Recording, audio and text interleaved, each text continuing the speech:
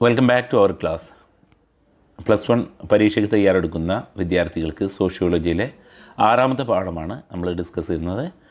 സാമൂഹിക ഘടന ശ്രേണീകരണം സമൂഹത്തിലെ സാമൂഹിക പ്രക്രിയകൾ. ഇതാണ് പാഠത്തിന്റെ പേര്.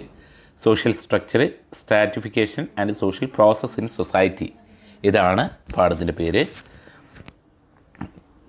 സാമൂഹിക ഘടനയും ശ്രേണീകരണവും അതുപോലെ തന്നെ സാമൂഹിക പ്രക്രിയകൾ ഇതെല്ലാം നമ്മുടെ പാഠഭാഗങ്ങളിലെ ചർച്ചയിൽ വന്നിട്ടുള്ള ടോപ്പിക്കുകളാണ്. അതൊന്ന് വിശദമായിട്ട് നോക്കുക എന്നുള്ളതാണ്. ഓക്കെ സാമൂഹ്യ ഘടന എന്ന് പറഞ്ഞാൽ സാധാരണ ചോദ്യം ഒരു നാല് അഞ്ച് മാർക്കിന് ചോദ്യം വരാറുണ്ട്. മോഡൽ എക്സാമിന് വന്നിട്ടുണ്ട്. സാമൂഹിക ചുറ്റുപാട് കൃത്യമായ നിയന്ത്രണത്തിനും രീതികൾക്കും അനുസരിച്ച് ക്രമബന്ധിതമായി പെരുമാറ്റങ്ങൾ ഉൾക്കൊള്ളുന്നതാണ്. സാമൂഹിക ചുറ്റുപാട് എന്നുള്ളത് ഒരു വ്യക്തി അദ്ദേഹത്തെ അദ്ദേഹം ചില സാമൂഹിക നിയന്ത്രണങ്ങളാൽ ചുറ്റപ്പെട്ട് കിടക്കുകയാണ്. ആ അദ്ദേഹത്തിന്റെ വ്യക്തിയുടെ പ്രവർത്തനത്തെ ആ വ്യക്തിയുടെ പ്രവർത്തനത്തെ നിയന്ത്രിക്കുന്നത് സാമൂഹ്യപരമായിട്ടുള്ള ഒരു നിയന്ത്രണങ്ങളുണ്ടാകും കടപ്പാടുകളുണ്ടാകും. ഇപ്പോൾ ഒരു ഉദാഹരണം പറയുകയാണെങ്കിൽ ഒരു മകൻ അമ്മയെ നോക്കണം എന്നുള്ളത് നിർബന്ധപരമായിട്ടുള്ള ഒരു കാര്യം ആയിട്ടില്ല. പക്ഷേ നമ്മുടെ സാമൂഹിക ചുറ്റുപാടുകളിൽ അത് അവന്റെ മേലിൽ എന്താണ് ആ നിർബന്ധമായിട്ടുള്ള ഒരു കാര്യമായിട്ട് അത് ബൈ ലോ ആയിട്ട് അതൊരിക്കലും നിബന്ധനയായിട്ടുള്ള ഒരു കാര്യമല്ലെങ്കിലും എന്താണ് നമ്മുടെ സാമൂഹ്യ നിയന്ത്രണത്തിൽ അല്ലെങ്കിൽ നമ്മുടെ സാമൂഹ്യ രീതി അനുസരിച്ച് ഒരു പെരുമാറ്റമാണ് ചെറുപ്പത്തിൽ നമ്മെ വളർത്തിയ അച്ഛനമ്മമാരെ എന്ത് ചെയ്യുക മാതാപിതാക്കളെ നോക്കുക എന്നുള്ളത്. ഒരു ഉദാഹരണം മാത്രമാണ് ഓക്കെ. ഇത്തരത്തിലുള്ള ക്രമങ്ങളെയാണ് നമ്മൾ സാമൂഹ്യ ഘടന എന്ന് പറയുന്നത്. മനുഷ്യന്റെ പ്രവൃത്തികളും ബന്ധങ്ങളും പല കാലങ്ങളിലും സ്ഥലങ്ങളിലും ആവർത്തിക്കപ്പെടുമ്പോഴാണ് സാമൂഹ്യ ഘടന ഉണ്ടാകുന്നത് നമ്മുടെ മുൻ കഴിഞ്ഞു പോയിട്ടുള്ള തലമുറ. അവർ അനുവർത്തിച്ച് പോന്നിട്ടുള്ള അനുഷ്ഠാനങ്ങൾ അല്ലെങ്കിൽ പ്രവർത്തനങ്ങൾ ഇതെല്ലാം റിപ്പീറ്റഡായിട്ട് വീണ്ടും ഇന്നുള്ള സമൂഹവും ചെയ്യുന്നു എന്നുള്ളതാണ്. അതായത് മുതിർന്നവർ അധ്വാനിക്കാൻ കുടുംബത്തിലെ മുതിർന്നവർ കുടുംബത്തെ പോറ്റുന്നതിന് വേണ്ടിയിട്ട് പോകുന്നു. സ്ത്രീകൾ വീട്ടിലെ കാര്യങ്ങൾ നോക്കുന്നു. വിദ്യാർത്ഥികൾ വിദ്യാലയങ്ങളിൽ പോകുന്നു. ഇപ്പോൾ ഓരോ കാലഘട്ടത്തിലും അത് അനുവർത്തിച്ച് പോന്നിട്ടുള്ള പ്രവർത്തനങ്ങൾ വീണ്ടും റിപ്പീറ്റഡ് ആയിട്ട് നിൽക്കുന്നുണ്ട് എന്നുള്ളത്. ഓക്കെ ജസ്റ്റ് സമൂഹം അതിലെ അംഗങ്ങളെ അംഗങ്ങളുടെ പ്രവൃത്തികളെ സാമൂഹികമായിട്ട് നിയന്ത്രിക്കുന്നു എന്നുള്ളതാണ്. സഹകരണം എന്ന പ്രക്രിയ സാമൂഹിക പ്രത്യുൽപാദനത്തെ സഹായിക്കുന്നു. മത്സരം സംഘർഷം എന്നീ പ്രക്രിയകളും സാമൂഹിക പ്രത്യുൽപാദനത്തെ നിർണയിക്കുന്നു എന്ന് അപ്പോൾ എന്താണ് സോഷ്യൽ സ്ട്രക്ചർ എന്ന് ഇതിൽ നിന്ന് നമുക്ക് മനസ്സിലാക്കാം എന്നുള്ളതാണ്. ദെൻ സാമൂഹ്യ ശ്രേണീകരണം സോഷ്യൽ സ്ട്രാറ്റിഫിക്കേഷൻ എന്നുള്ളതാണ്.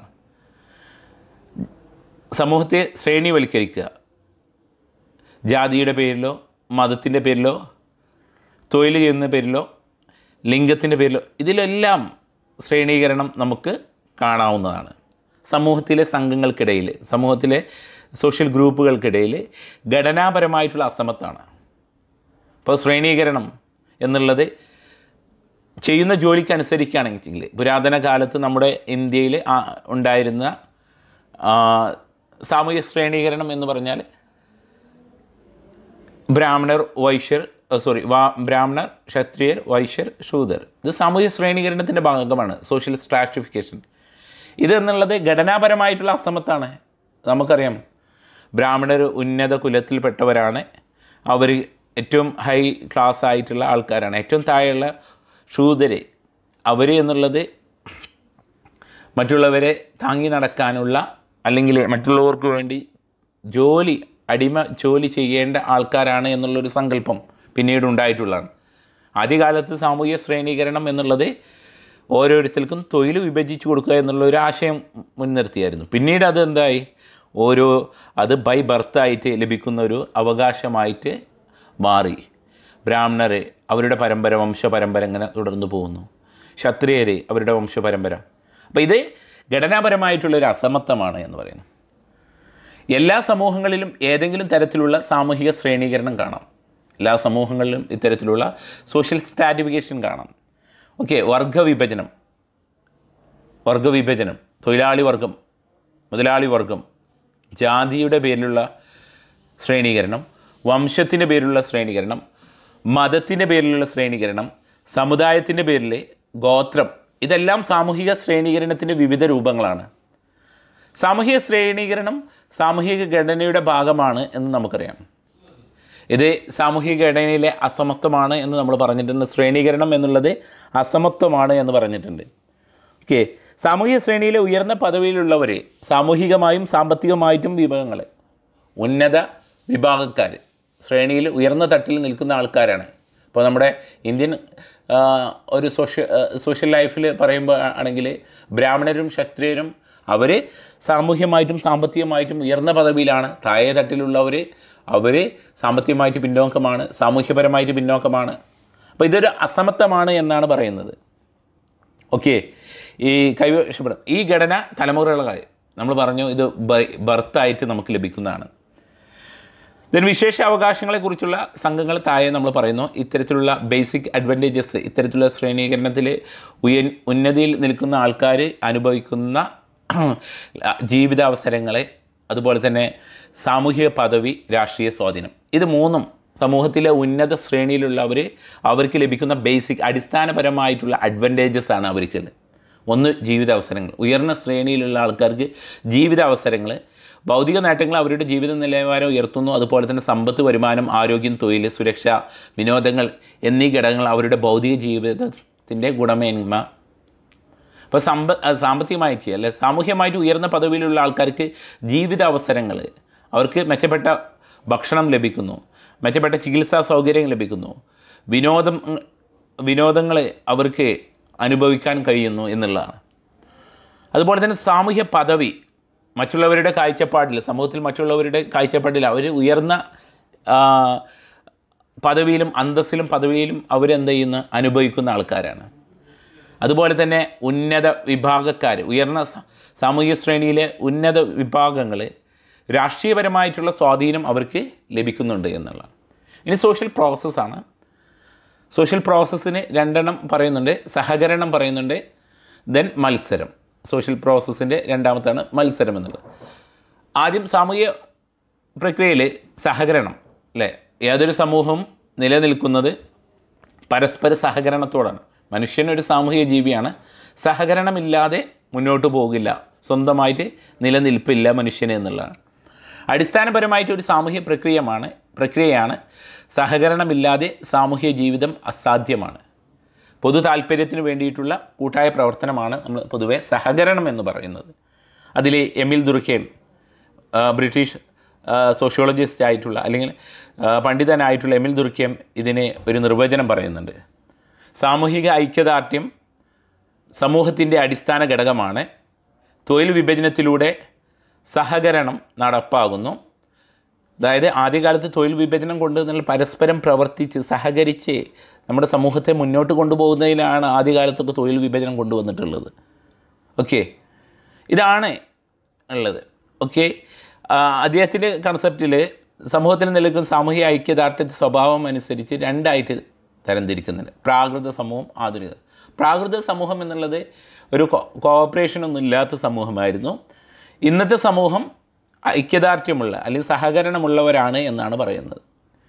ഇനി കാൾ മാക്സിന്റെ അഭിപ്രായത്തിൽ മനുഷ്യനെ മൃഗങ്ങളിൽ നിന്ന് വ്യത്യസ്തമാക്കുന്നത് വിവേചന ബുദ്ധിയാണ് അല്ലെങ്കിൽ ബോധ നിലവാരമാണ് എന്ന് അദ്ദേഹം പറയുന്നു.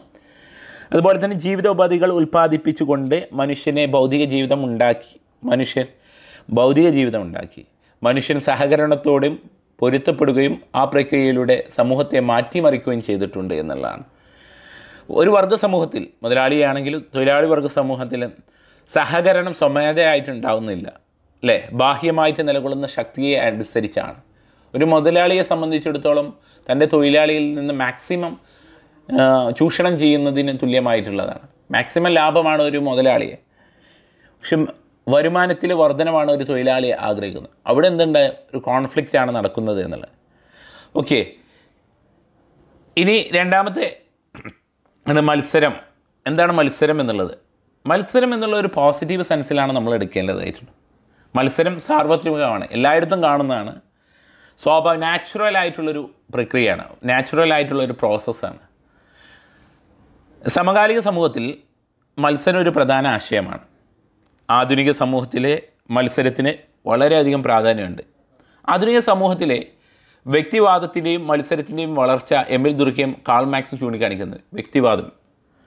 അതുപോലെ തന്നെ മത്സരത്തിന്റെ ഇമ്പോർട്ടൻസും ഇത് എമിൽ ദുർക്കയും കാൾ മാക്സും ഇതിനെ വ്യക്തമായിട്ട് ചൂണ്ടിക്കാണിക്കുന്നുണ്ട്. വ്യക്തിവാദവും മത്സരവും മുതലാളിത്ത സമൂഹമായിട്ട് ബന്ധപ്പെട്ടുകൊണ്ട് തന്നെയാണ്. വികാസം പ്രാപിച്ച്. മത്സരം എന്നുള്ളത് കൂടുതൽ കാര്യക്ഷമക്കും കാര്യക്ഷമതക്കും കൂടുതൽ ലാഭത്തിനും മുതലാളിത്തം ഊന്നൽ നൽകുന്നതിന് വേണ്ടി ഇത്തരത്തിലുള്ള മത്സര നിലപാടുകൾ ഒരു മത്സര സമീപനങ്ങൾ ഏർപ്പെടുത്തുന്നുണ്ട് എന്നുള്ളതാണ്. ഇനി മുതലാളിത്തത്തിന്റെ പ്രധാന സങ്കല്പങ്ങളാണ് നമുക്കിനി പറയാനുള്ളത്. മുതലാളി ഒരു മുതലാളിത്തം എന്നുള്ള importance of important assumption of capitalism എന്നുള്ളതാണ്. വ്യാപാരത്തിന്റെ ഒരു മുതലാളി എപ്പോഴും ശ്രമിച്ചിരിക്കുന്നത് ശ്രമിക്കുന്നത് വ്യാപാരത്തിന്റെ വികസനമാണ്. തൊഴിലാളികളെ വിഭജിക്കും. മാനേജർ അസിസ്റ്റന്റ് മാനേജർ സൂപ്പർവൈസർ അതിന്റെ ഇടയിൽ ഫീൽഡിലുള്ള വർക്കേഴ്സ്. ഇങ്ങനെ തൊഴിൽ വിഭജനം നടക്കുന്നു. മുകളിൽ നിന്നുള്ള കമാൻഡാണ് താഴേക്ക്. സ്പെഷ്യലൈസേഷൻ. ആധുനിക സമൂഹത്തിലെ യോഗ്യത എന്നുള്ളത് വൈദഗ്ധ്യത്തിനനുസരിച്ചാണ് എന്നുള്ളത് മനസ്സിലാക്കുക. ഉൽപ്പാദനം വർദ്ധിപ്പിക്കുക എന്നുള്ളതാണ് മുതലാളി എപ്പോഴും ഊന്നൽ ചെല്ലുന്നത് മുതലാളിത്തത്തിന്റെ ഈ പ്രക്രിയയെല്ലാം ഇന്ധനമാവുന്നത് മത്സരമാണ്. അല്ലേ? ഒരു ഓട്ടമാണ്. ഒരു കമ്പനി മറ്റൊരു കമ്പനിയുമായിട്ട് മത്സരിക്കലായിരിക്കും എപ്പോഴും. അതിൽ വർക്കേഴ്സ് മത്സരിക്കലായിരിക്കും. ടാർജറ്റ് ആരാണ് ഏറ്റവും കൂടുതൽ അച്ചീവ് ചെയ്യുക? ടാർജറ്റ് ആരാണ് ഏറ്റവും കൂടുതൽ പെട്ടെന്ന് കംപ്ലീറ്റ് ആക്കുക എന്നുള്ളത്. ഓക്കെ ദെൻ കൂടുതൽ കാര്യക്ഷമമായിട്ടുള്ള രീതിയിലാണ് വിപണി പ്രവർത്തിക്കുന്നത് എന്ന് മത്സരം ഉറപ്പുവരുത്തുന്നു. കോൺഫ്ലിക്റ്റാണ് ദെൻ കോൺഫ്ലിക്റ്റിൽ നമ്മൾ പറയുന്നത് മത്സരം ഒരു പോസിറ്റീവ് സെൻസാണ് കോൺഫ്ലിക്റ്റ് അത് നമ്മളെ സമൂഹത്തെ പിന്നോട്ട് വലിക്കുന്നതാണ്. വ്യത്യസ്ത താല്പര്യങ്ങൾ തമ്മിലുള്ള ഏറ്റുമുട്ടലാണ്. രണ്ട് താല്പര്യങ്ങൾ തമ്മിലുള്ള ഏറ്റുമുട്ടലാണ് സംഘർഷം എന്ന് പൊതുവേ പറയുന്നത്. ഇതിന് പ്രധാന കാര്യം വിഭവങ്ങളുടെ ദൗർബല്യമാണ് ദൗർലഭ്യമാണ് ദൗർലഭ്യമാണ്. ഓക്കെ സംഘർഷത്തിലേക്ക് നയിക്കുക. സംഘടനാവാദികളെ ഇങ്ങനെയാണ് വിശ്വസിക്കുന്നത്? ഇന്ന് വർഗത്തിന്റെ പേരിലും ജാതിയുടെ പേരിലും ഗോത്രത്തിന്റെ പേരിലും വംശത്തിന്റെ പേരിലും മതത്തിന്റെ പേരിലും സംഘർഷം നിലനിൽക്കുന്നുണ്ട് എന്നുള്ളതാണ്. സംഘർഷം എല്ലാ കാലത്തും സമൂഹത്തിന്റെ ഭാഗമായിരുന്നു. എല്ലാ കാലത്തും സമൂഹത്തിലും സംഘർഷം ഉണ്ടായിട്ടുണ്ട് എന്നുള്ള സാമൂഹിക മാറ്റം ചിലപ്പോഴൊക്കെ സംഘർഷത്തിന് കാരണങ്ങളാകുന്നു എന്നുള്ള സോഷ്യൽ ചേഞ്ചസ് ഒരു കോൺഫ്ലിക്റ്റിന് വഴി വെച്ചിട്ടാണ് ഉണ്ടാകുന്നത് സാമൂഹിക വികസനത്തിൽ വിവിധ ഘട്ടങ്ങളിൽ സംഘർഷത്തിന്റെ രൂപത്തിലും പ്രാകൃതത്തിലും മാറ്റമുണ്ടായിട്ടുണ്ട് ഓക്കെ ഇത് പുറമെ പ്രകടനമാകുമ്പോൾ മാത്രമേ സംഘർഷം വ്യക്തമാകൂ. അപ്പോൾ ഇതിൽ പ്രധാനമായിട്ടും എന്താണ് കോൺഫ്ലിക്റ്റ് മുതലാളിത്തത്തിന്റെ പ്രധാന സങ്കല്പങ്ങൾ എന്താണ് മത്സരം എന്നുള്ളതും സഹകരണം എന്നുള്ള രണ്ട് ചിന്തകൾ എമിൽ ദുർഖേമിന്റെയും അതുപോലെ തന്നെ കാൾ മാക്സിന്റെയും ദെൻ ജീവിതാവസരങ്ങളെ സാമൂഹ്യ ശ്രേണിയിൽ ഉയർന്നവർക്ക് ലഭിക്കുന്ന ജീവിത അവസരങ്ങൾ എന്തൊക്കെയെന്നുള്ളതും സോറി ബെനഫിറ്റുകൾ എന്തൊക്കെയെന്നുള്ളതും സാമൂഹ്യ ഘടന. ഇതാണ് ഈ പാഠത്തിൽ മെയിനായിട്ട് പഠിക്കാനുള്ളത്. ഓരോ തോട്ട്സുകളാണ് ഇതിലുള്ളത്. അതിനനുസരിച്ച് പഠിക്കുക. താങ്ക്